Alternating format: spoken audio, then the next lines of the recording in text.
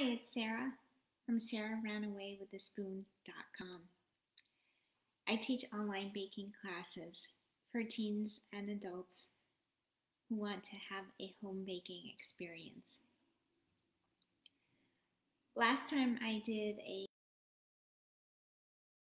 uh, Facebook Live, I talked about my favorite kitchen tool for slicing and peeling apples. I called it my apple slicey peely coring tool, and it was an old fashioned cranking tool that I put the apple on, spun it around, and it peeled it and sliced it.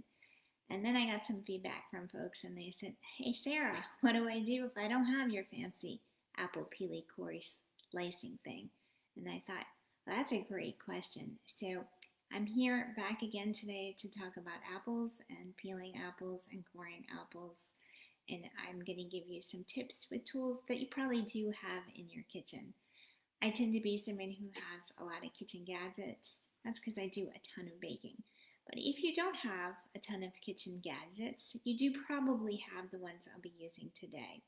If not, you definitely have a knife. So you can always use a knife. But let's start with the vegetable peeler. And the vegetable peeler, I'm going to show you a quick and easy way on how to peel your apple.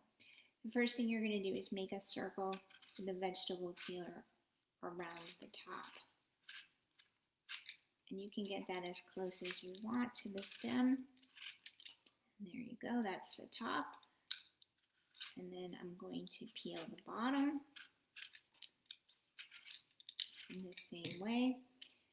Just like I did with my apple peely coring slicing tool, if the recipe calls for apple peel, just push those to the side. Some applesauce recipes that I have call for apple, um, the apple peel to go in. And then the next step is just to slice these up and down until the two spaces that you've made connect. So we go up and down. Super quick super easy. And you can peel it as close to perfectly as you'd like, or you can leave a little peel on there if you're just going to eat it. It's not a big deal.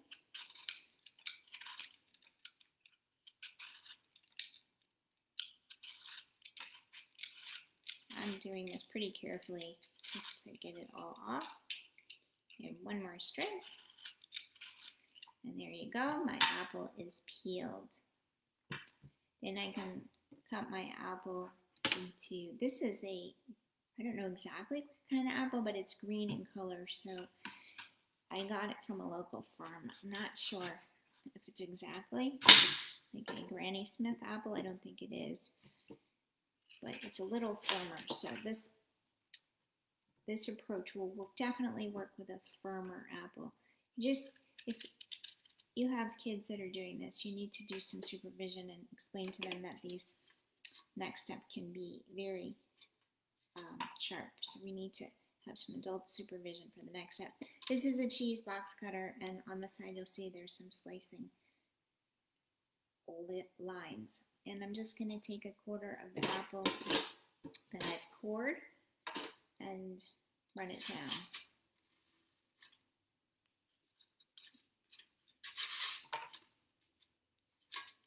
run it down.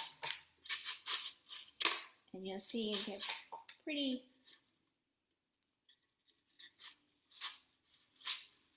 narrow there. So you can't do a ton of them, but if you, you wanted to get some really thin slices, that will work. You have to go slowly and you have to be careful. It is kind of sharp. Another option would just be to take your knife and make really fine slices. Can always use your knife. It's not quite as fine. I'm not sure if you can see the difference there, but it's pretty close.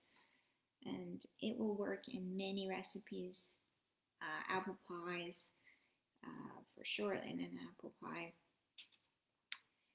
Some recipes may call for a mandolin. Again, that's a really, really thin slice. So you might want to try this method if your recipe that you're using calls for something like a mandolin. So again, I just cut it and I'm pouring it. Then I take a flat side and run it down. And as I go, I just peel my fingers back. And I have some peeled apples. It doesn't, because of the way you have to hold your fingers, it doesn't give you the whole bit of apple, but then you can cut some of that last little bit up with your fingers, and uh, with your knife, not with your fingers. I don't think that would cut through an apple very well. So yeah, you want to cut that with a knife. So my knife, my peeler, I said that backwards. My peeler, my knife, and my cheese cutter can help you slice apples very thin and you don't need a fancy tool. So I hope you've enjoyed this video and you get a chance to check out my website at sarahranaway.com. And when you're there, you can download my free guide, Ready, Set, Bake. Have a great week. I'll see you next week. Take care, have fun. Hope you do some apple baking. Bye bye.